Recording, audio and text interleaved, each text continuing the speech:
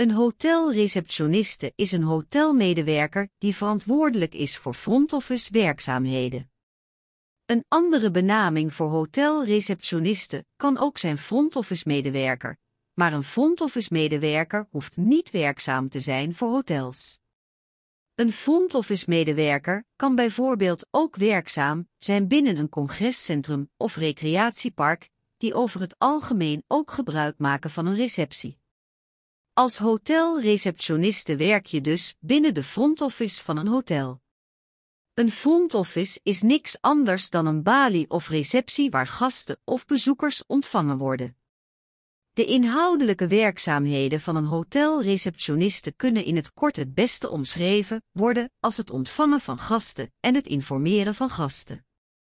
Denk hierbij bijvoorbeeld aan het inchecken van gasten, het uitchecken van gasten en aan algemene administratieve werkzaamheden.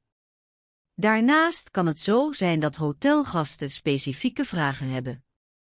Als hotelreceptioniste is het belangrijk dat je bezoekers op een correcte manier ontvangt en voorziet van alle relevante informatie.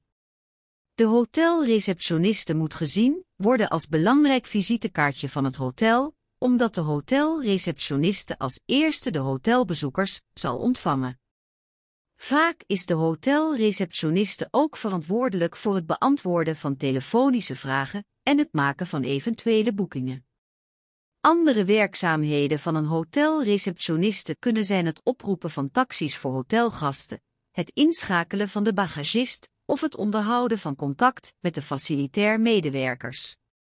Het beroep hotelreceptioniste moet verder wel vrij algemeen gezien worden, omdat de inhoudelijke werkzaamheden per hotel kunnen verschillen.